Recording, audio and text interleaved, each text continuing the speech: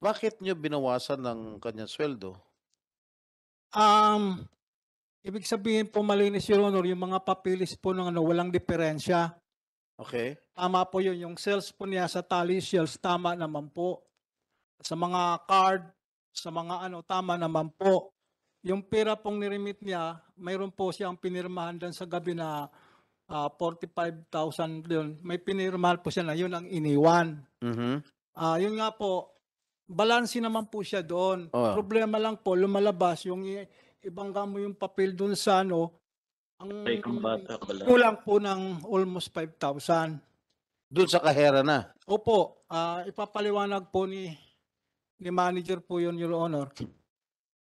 So, nag, nag, ah, nag-iwan siya ng envelope na halagang 45,000. Am I correct? Mr. Chair, kung makakaintindi ako. Yeah. Okay, alam ko to eh, tinutumbok nito eh.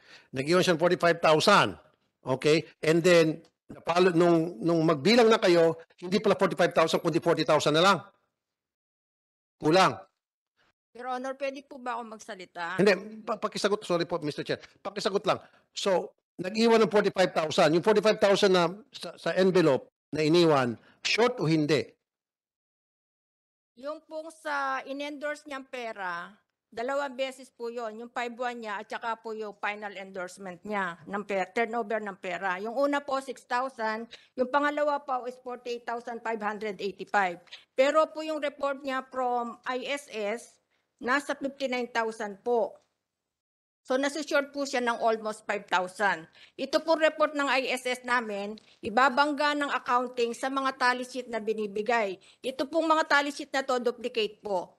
Kaya nga po, pag nag-endorse nga siya ng pera, yung inyong kahera, dapat sa harap niya, binibilang yon. Binibilang po, Your O kung binilang sa harapan niya, so bakit nagka-short? Ay- Kung ano man in-endorse niyo yung araw na yon, bibilang sa harapan niya. O neneng, ito, po, kung ano man tawag niyo sa inyong mga kahera, o 59,000, o 59,000 check, o ito, 45,000, 45,000 check. Documented po yan, Your Honor. Nakalagay po dyan lahat ng in-endorse niyang pera. Ano po, kung may erasure man po, meron So, po siyang... binilang sa harap niya. Bilang po yan lahat. O, paano pa nagka-short? Hindi, binilang sa harapan mismo. Binibilang nila po yung pera nila. Tapos ibibigay sa supervisor. Ito po yung 5-1. Sa midday po, 3 o'clock. Mr. Chair, 3:50. Mr. Chair, binibilang sa harap ng supervisor nila? Sila po ang nagbibilang ng pera nila. Hindi nga, siyempre, ah, bibilang niya talaga nila yon, natural. Ang ibig sabihin, binibilang nila sa harap ng supervisor nila. Yes or no? Yes po, yung pong sa 5-1 lang yon. Pero po yung final turnover, ang pagbilang po noon sa Treasury Department na po, may kaharap, bibilangin niya po yon and then ipire-recount po ng recounter ng Treasury Na nandun sa harap, na nandun sa harap yung cashier. Ito po ang may hawak ng pera nila. Okay? Wala pong hinahawakan yung supervisor. Okay, pagdating sa final, pagdating sa final, sa pagbibilang, nandun pa rin ba yung kahera? Nandun po siya. Siya po ang magte-turnover sa At Treasury. nandun pa rin ba yung pinagtuturnoveran niya? Nandun po sa Treasury. Kaya nga, nandun sa harap na binibilang niya, Opo, final? Opo. At Oh. saka po may mga documents yan. Dalawang O kaya nga, so kung ganun pala, so okay tayo doon. Opo. Fine. So binilang sa sa supervisor, harap ng supervisor, nagbilangan sila, accounted for lahat ng pera, right? Opo. And then sa pangalawa, sa final, nagbilang sila sa harap, nagbilang siya sa harap nitong, kung sino itong final na pagbibilangan, na check din. Tama, right? Yung pera pong in-endorse na binibilang lang nila. Kaya nga, yung pera in-endorse. O, kung ganun pala, lahat ng in-endorse na pera, dalawang dinaanan na puro check, eh, bakit nagka-short?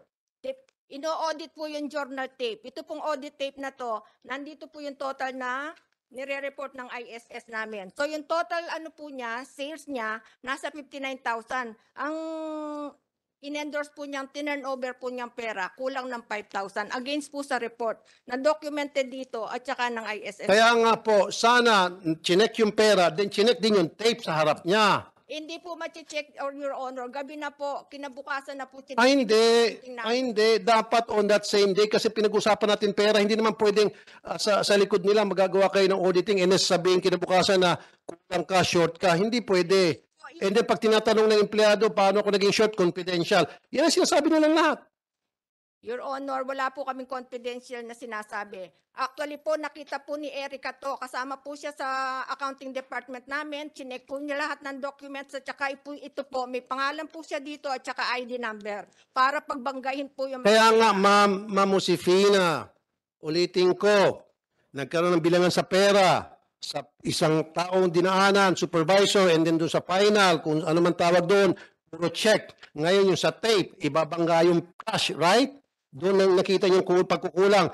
Dapat, sa ginawa niyang pagbabangga na yung kung tawagin mo, sa harap po ng kahera, para right there and there, panagutin siya, kapag nag-short siya, then doon mo pa masasabi na, oh, short ka, may problema tayo, let's talk. Hindi yung kinabukasan nyo pa sila kakausapin. Sinasabi mo gabi na, no, kahit nabuti ka na madaling araw, dapat right there and then, nagkakaroon ng accounting in front of the kahera. Sir, ever since po naman 1988 pa, yun na po ang procedure ng counter department. ng Well, Lord. well, yung, that was the long time ago, ibahin niyo po yung panahon na ngayon sa panahon noon. Ginagawa na po, Your Honor. Oh. Ah, Ma- Mr. Chair, pwede ba natin pagsalitain Sige. itong dalawa? Para Thank you, saan uh, papunta Ma'am nila? Jos- Jos- Josefina. Pagsalitain muna natin yung mga dalawang complainants, no? Opo, Mr. Right. Chair. Magandang hapon po. Ah, bali po, ah, Anong katungkulan mo, uh, Ms. Regina, ano po, sa landmark? ah, dati po akong cashier po sa Landmark po. Alright. Ah, yung amin po ay December 2020 po. Bale, ako po kasi matagal na po ako naging cashier. Simula po 18 years old po ako, nag-cashier na po ako. Cashier sa landmark lang o sa ibang Marami na po akong pinanggalingan po na supermarket, ah, fast food chain po. As cashier, Opo. laging ka- kaherang uh, Opo. tung- Bale, kay Landmark lang po ako naka-experience ng ah, magkakahapo kami, pero Teka, teka. Yung unang ah, trabaho mo saan? Anong supermarket? ah hindi po fast food po, Jollibee po. Jollibee. Apo. Oh, ba't ka umalis? Ah, end of contract po ako doon. Endo, oh. Apa. After Jollibee, Nag pure gold po ako Pure sa Tagaytay po. ano nangyari? Endo rin. Enda din po kasi high school Walang graduate kaso. po. Wala Wala kang kaso Jollibee, wala kang kaso Wala sa Pure po. Gold. After Pure Gold, Nagmang inasal po ako. oh, Ah, Kahera endo rin. Po. Endo rin. po, puro endo po kasi. Endo, Opo. walang kaso. Wala po. So after Mang Inasal, Nag-Jollibee po ulit. ibang branch, Pablo po. San Pablo, Laguna. Kahera rin. Opo, kasi Walang, din walang po. kaso. Wala din po. Endo rin. Opo. Oh, after, Tapos, bumalik po ako, nag-Save More Supermarket naman po. hmm, kahera rin. Opo, endo din po. Walang kaso. Wala po. Six months, six months, six months. Opo, Oh, tapos ng Save More, nag-Landmark Nuvali po. Landmark Valley. Okay, go. Ayun po, ah sa tagal ko pong nagi, nagkahera, ah sa Landmark lang po ako nakaranas ng ah hindi po within the day nalalaman yung shortage. Um, ilang days po nila bago binibigay yung shortage namin. Tapos, ang masakit po nun, ano, kahit po hindi po kami pumipirma doon sa mga papel na ini-issue nila, automatic pa din po dinededuct sa sahod namin yung nawawalang pera.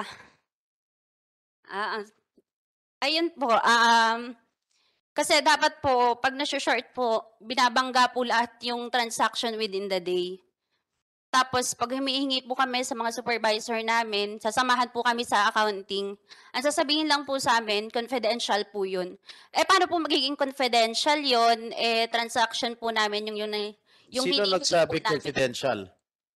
Bali po yung supervisor po namin sa landmark si si Ma'am Alaysa po. And Miss Miklat, you are refuting the statement na wala kayo sinasabing confidential.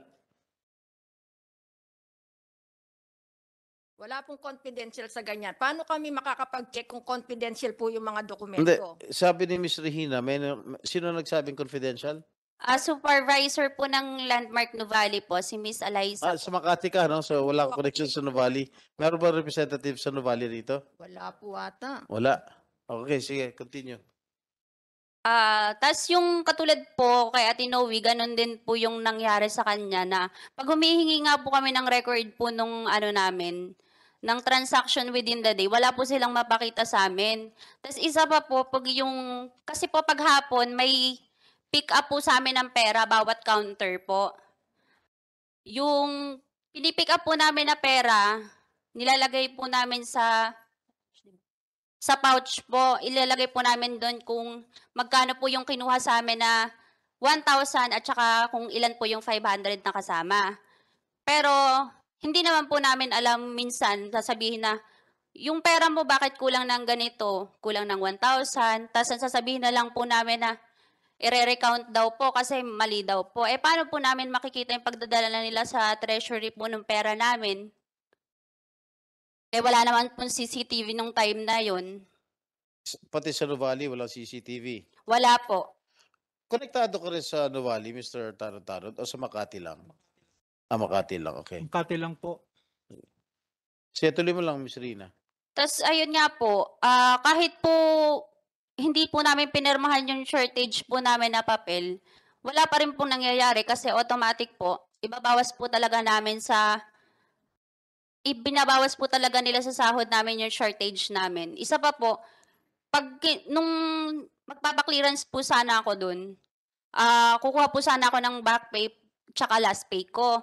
Ang sabi po nila, kulang pa daw po yung shortage ko dun sa kukunin ko daw po na back pay.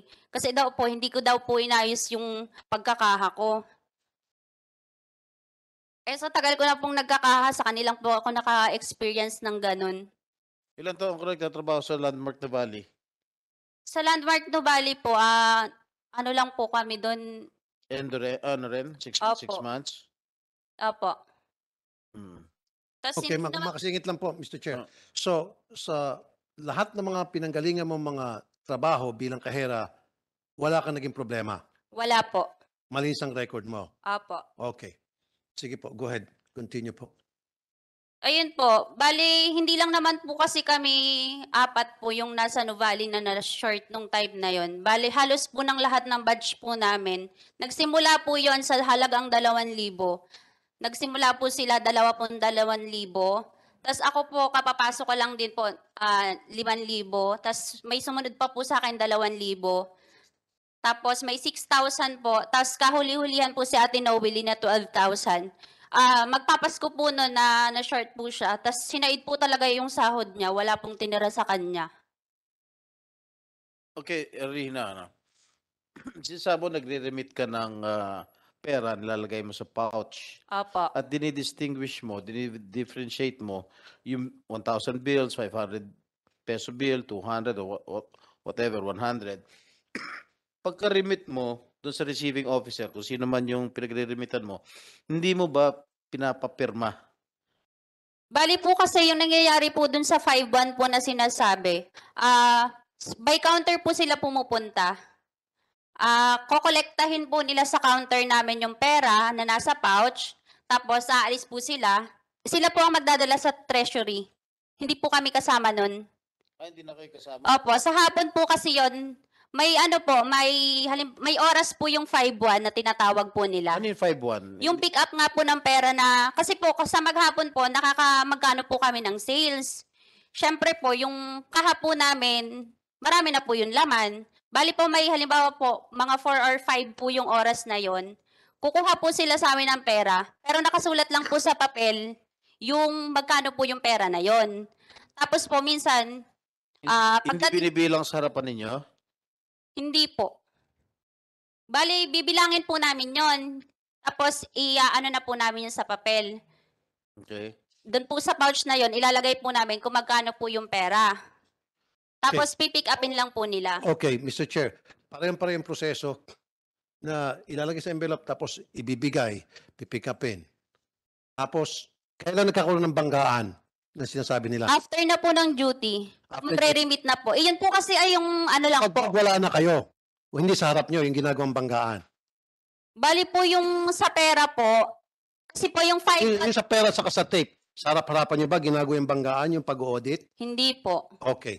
Yun doon nagkakaproblema, Mr. Chair, na gagawa sila ng auditing, binabangga yung ha- cash na na-clear na ng dalawang tao in the case of uh, Landmark Makati at saka yung tape, dapat pinagbabangga sa harap ng mga cashier. Ang sinasabi kasi nila, gabi na. Check, hindi pwedeng gawin dahilan yung gabi na. Pinag-usapan natin pera at saka nakataya dito yung karangalan, yung trabaho ng iyong kahera. Pare-pareho lang po. Si, ako, Mr. Chair, pasensya na. Nakikita ko, sabi nila, matagal na yung sistema nila. Kaya nga, sa sobrang tagal na ng sistema ninyo, may nakasilip na insider dyan na pwede palang pagkakitaan itong mga bagito. Pwede palang pagpirahan. pwede palang dugasan ito mga bagito dahil sa sistema ang nasilip nakita nila na mali.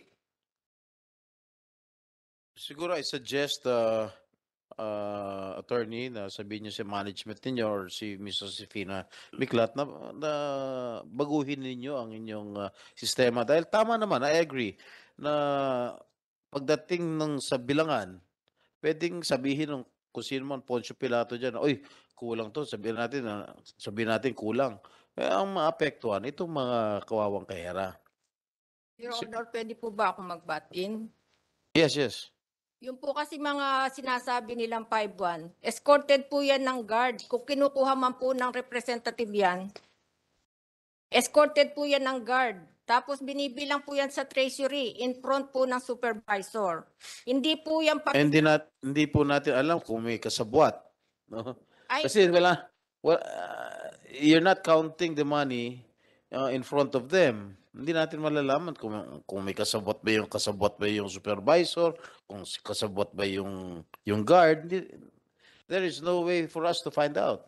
parang... parang sa kanya po parang iba yung sinasabi niya. Kasi po, hindi lang naman po isang gwardiya ang nakabunton dun sa kumukuha ng pera. Hmm. Tatlo, apat, minsan But hindi lang naman siya ang complainant, uh, Ms. Miklat. Marami pa ang complainant katulad Yes. ng Erica, yung nagtatrabaho sa Makati. Ito pa si Ms. uh, Ediola. si Eric yung Eh, po hindi kasi- naman, this is not an isolated case. Okay. Madam, Madam Chair, nakipag-areglo sila kay Erica. Kung ano man yung aregluhan, labas na tayo doon. Meaning, para tumahimik na si Erica, para hindi na lumaking problema ni Erica, nakipag-areglo sila. eh. Kaya nga si Erica, sinabi, I don't want to participate in this hearing anymore kasi okay na ako. Ano yung okay? Inareglo siya. Sumurrender yung landmark. Kasi alam siguro nila, may kalalagyan sila rito. But anyway, Mr. Chair, so siguro yung si Mr. Ediola naman pagsalitain natin. You, do you have, uh, meron ba ho kayong sasabihin na Ms. Noeline? Good afternoon po. Pareho lang din naman yung case po namin po, yung about sa short po namin. Sa Novali ka? Opo. Okay.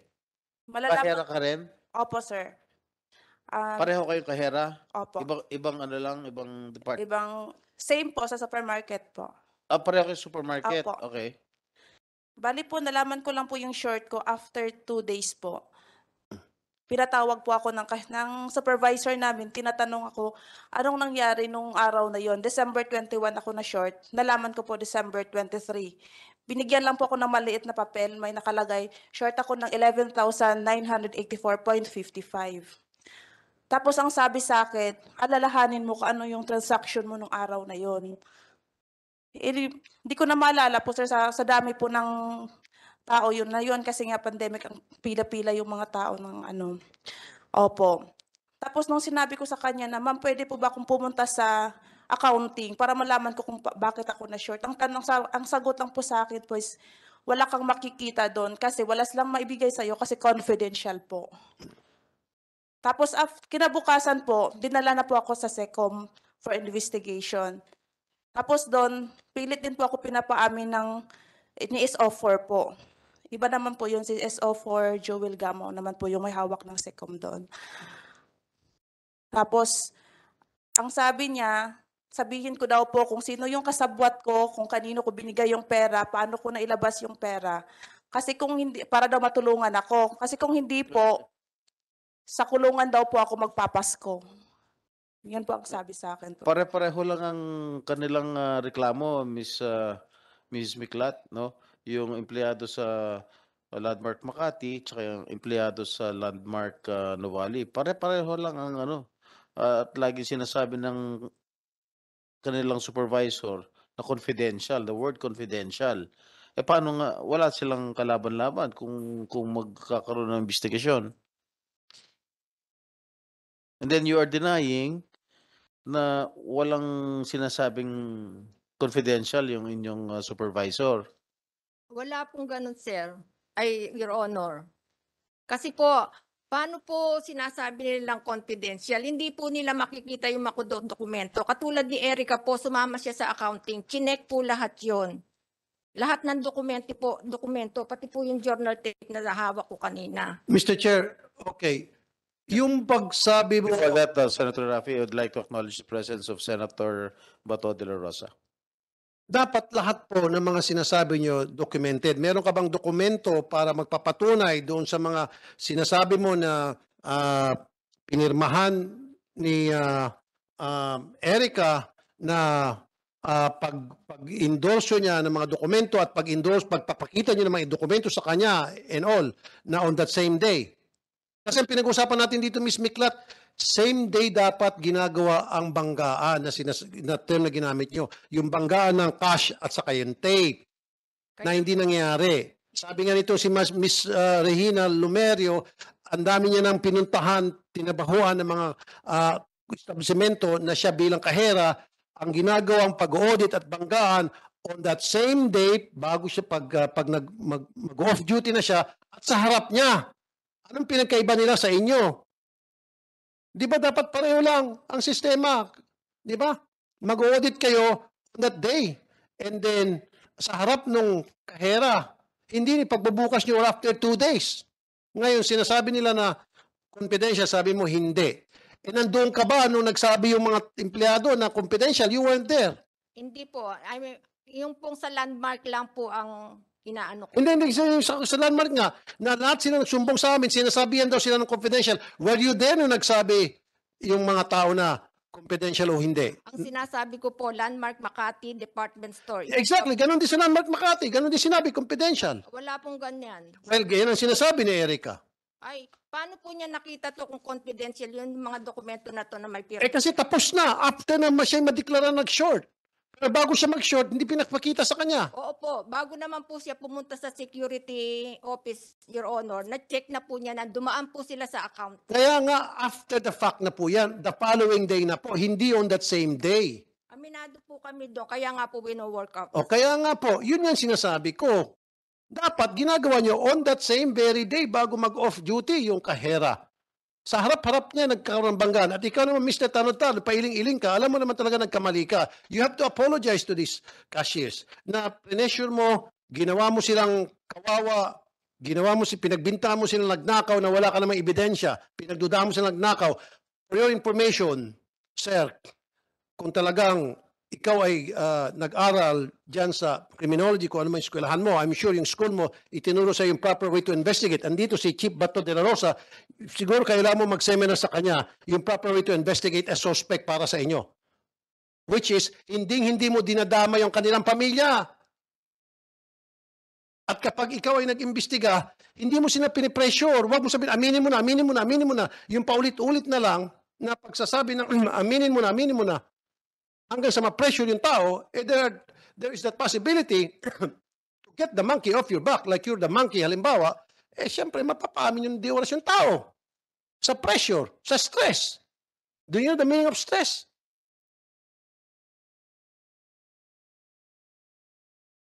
Okay, uh, siguro I suggest that uh, you improve on you know, your system, no?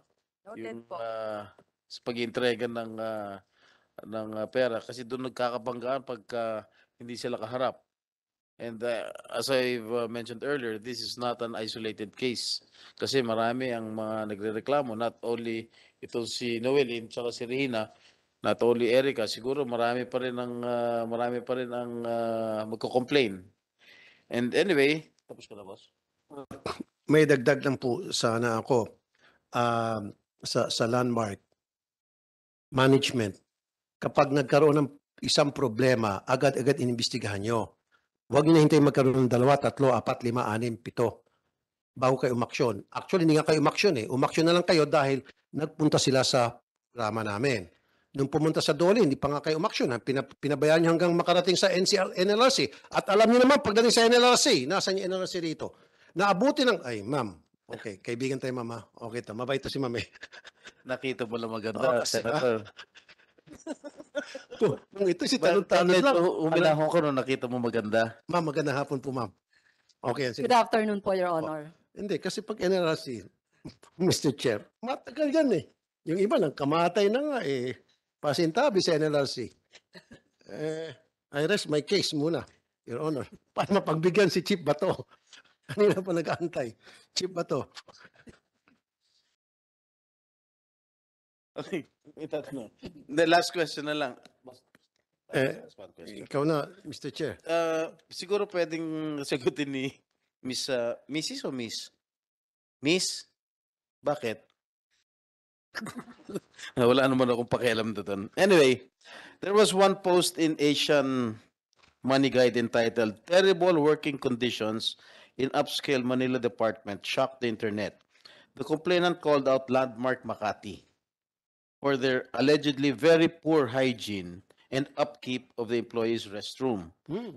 Wala raw pong locker rooms, kaya ang gamit ng mga empleyado ay nakakalat lang sa sahig. Kaya naman daw laging may nakawan. Also, there were no tables and chairs. Kaya sa sahig daw po kumakain at umuupo ang mga staff. Is it true? Hindi po, bawal po kumain sa locker. Meron po kaming canteen. At saka po, instructed po yung mga empleyado na bibili sila ng bolt type na key para yun po ang gagamitin nila. Ay na-advise po namin na kumuha sila ng locker para hindi sila maglalagay dun sa... Meron po kami kasing wallet control. Kung saan-saan po na sinasabi niya yung mga bag, hindi po totoo yon. May lagayan po talaga. At saka sa locker po, meron pong upuan, may table po. Meron kayong locker rooms? Meron po sa boys, ay sa female, meron po sa male. Eh, yung banyo ninyo, naayos yun na ba? Okay naman po. Ha? Pwede naman pong mag-check. Hindi. Tignan mo yung uh, website ng Asian Money Guide. Si- hindi naman... Ito, ito, ito. Ito, ito, ito. Saan ba ito? Ito, I will show you the the picture, ah. Yan, nakakalat yung mga gamit ng mga empleyado, nakaupo lang sa sahig at doon kumakain. Pwede ba ipakita doon sa ano? Bawal Paki-identify kung sa inyo yan yung, yung lugar na yan. Kasi I've never been to Landmark.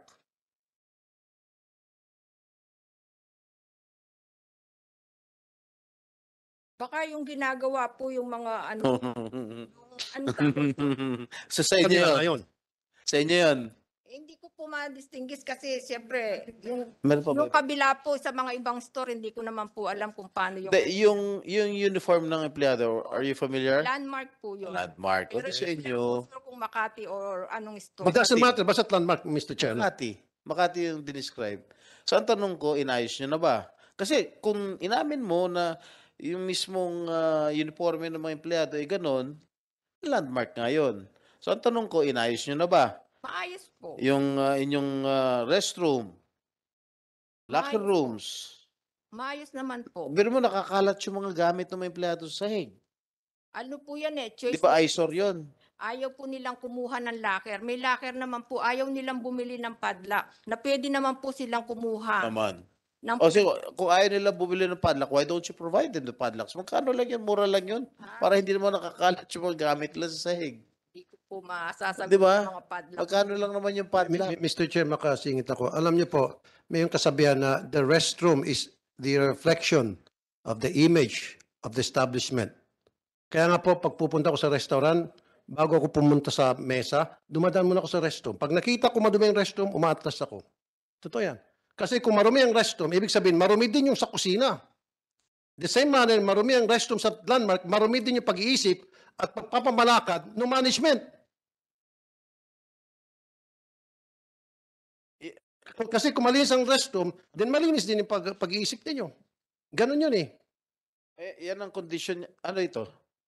CR ba ito? Oh, yung bubong, Ha? tumutulo. Ah, tumutulo. Oh. Okay. Oh, are you familiar, Miss Miklat? Sa inyo yan? Landmark yan? Kasi po hindi ako, hindi po ako pumapasok doon sa locker ng mga female, Ng mga? mga empleyado. Doon lang po kami. Oh, so hindi nyo alam kung ano nangyayari? Oh, grabe ito. Okay. Ah, inaamin mo sa Landmark Makati yan? Yung uniform po. Pero, Ano, Yung sa CR nga. Baba. Oh, yan. Ah, Mr. Tano Tano, di- siguro hindi ka rin nakakapasok dyan dahil restroom ng babae yan. Hindi hindi ba ho kayo nakakapasok dyan, Miss Miklat, sa restroom ng babae? hindi po, meron po kasi kami separate na rest. Exactly. May sarili siya, yung aircon pa. Ay, Mabango. Siguro tatlo pang janitress na naglilinis bago pumasok si madam. O ito, sa lalaki ito. Terrible. Ayan, pumapasok sa tanod-tanod. Mr. Tanod-tanod, umihi ka ba dyan o may sarili kang restroom? Meron ka sarili ano? Sa security office po. Oh, maganda yung security office, air Hindi, condition. tignan mo, hindi, if medyo hindi yata maganda ang ah, ang ah, hygiene nitong ah, restrooms both sa female tsaka sa male. Ito mo itsura. Tin tinan yung bubong, ano, Mr. Chair? Yeah. May mga daga May mga pa ata. bu- May nakita ata ko malaking daga yun, ha? Oh, sumisilip. Meron, oh. Tapos may ipis. Paano yan? Pe- Yan mo, i- iangat mo. Ibaba mo. Yan, yan. Hmm. I-zoom, po- zoom pa natin. Ah, actually, Your Honor, no, ang landmark last year nag general renovation na po. Are Oo. they in the process of renovating it or are they renovating it right now? Ay, matagal na po yung renovation, Your Honor. Na-renovate na ito? Ganito pa rin itsura? Kailan ba ito? Eh, eh, hindi ko po alam kung ngayon po yan. Kasi sa ngayon po, yung umikot po kami. sa- Sandali lang, Your Honor. Nandito ba yung Dole? Yes. Okay, meron kayong tinatawag na visitation authority. Pwede ba pakibisitahan ang landmark, tingnan yung working condition, yung workplace, work area nito mga empleyado? Can you do that, ASAP? We will do it, Your Honor. Can you do that tomorrow and report to us? We will do it, Your Honor. Good. Eh, alam mo, hindi pa ako nakakapunta ron sa landmark, no? Pero pag ako papupunta, o kahit sino, kahit aso, baka sumuko dyan, hindi pumasok dyan sa CR. Medyo, medyo may, pati yung CR, eh, babae to kasi pink eh. Medyo marumi. Marumi yung kanilang ah, CR. Siguro, i- it's about time that you request uh, the management to renovate it immediately. Para naman maganda naman yung inyong hygiene doon. Nung pumasok po ako, nun, Your Honor, dati, hindi naman po ganun. Maayos naman. Hindi, hindi, hindi, hindi, hindi mo naman kasi napupuntahan yan because you, sabi mo nga, you have your own uh, restroom. Ano, nung nag-ikot kami minsan, hindi naman po siya ganun.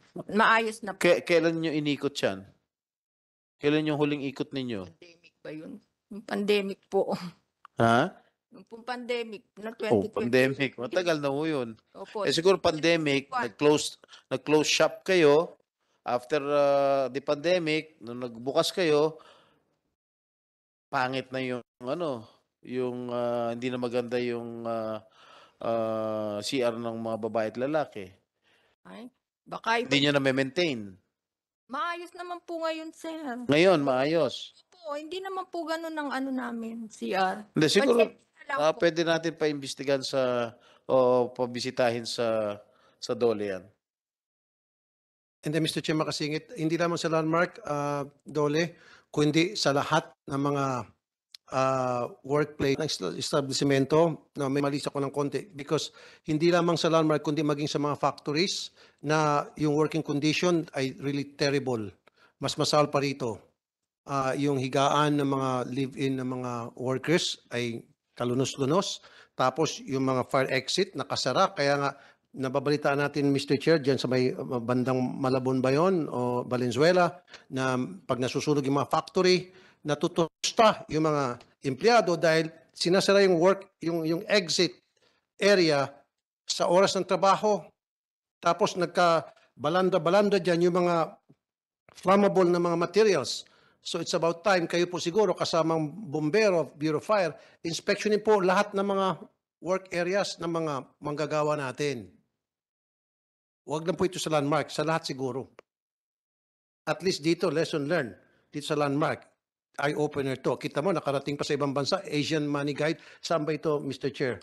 Saan bansa ito? Singapore? Hong Kong? Hmm. Kita mo, nakarating pa sa ibang bansa. And then, Mr. Chair, una, nagpapasalamat ako sa landmark, ano? Papasalamat ako, bakit ako nagpapasalamat, Mr. Chair? Kasi diyan sa kanilang store, yung malapit sa, dito sa North, ah, yung wanted sa radyo, pinapanood nila araw-araw sa mga monitor nila. Ngayon, okay lang, maski hindi nyo napanoorin kasi napagalitan na kayo. dapat nung nakita nyo na pinapanood ng mga staff nyo, dapat napakabait kayo na para hindi kayo masumbong. Ayan, nasumbong kayo ng di oras. Diba? No, se- seriously speaking now, um, maawa naman kayo sa mga empleyado ninyo. Magkano lang pong kinikita niyan? Minimum wage. Kulang pa nga yan, di pa sapat na para bumuhay ng maayos ng ah, isang pamilya. Kaya nga po pinapataasan ko, Mr. Chair, taasan yung sahod ng ating mga magagawa. And then nandiyan pa kayo, nabigyan nyo pa sila ng sama ng loob. Hindi na nga kumpleto sa benepisyo. Mababa na nga. Kulang-kulang pa pambili ng mga pagkain, pangangailangan ng pamilya and all. And then, dudugasan pa. I know, I'm not talking to you, Ma'am Miklat. Hindi ikaw yon at Mr. Tanutaro, labas ka doon. Pero yung mga, maybe kasabot dyan sa inyo. Dudugasan pa. Kaya sinasabi ko yung mayaman, lalo nagpapayaman. Yung mahirap, lalo nagpapahirap. Ito yung kakapalan ng muka to the highest degree. Pag nanakawan mo yung mahirap, masisikmuran yung nakawan yung mahirap. Yung nakarinig tayo yung mga mayayaman pinag Biyayar yan eh, customs yan eh. Pero, kumpanya na pag nanakawan ang mahirap nila empleyado, mapapamura na lang ako, Mr. Chair, wag na lang. Wala akong may ma- magamit na tamang salita para to describe yung ganong klaseng kumpanya na pag nanakawan mo ang iyong empleyado na sobrang hirap na nga, dudugasan mo pa.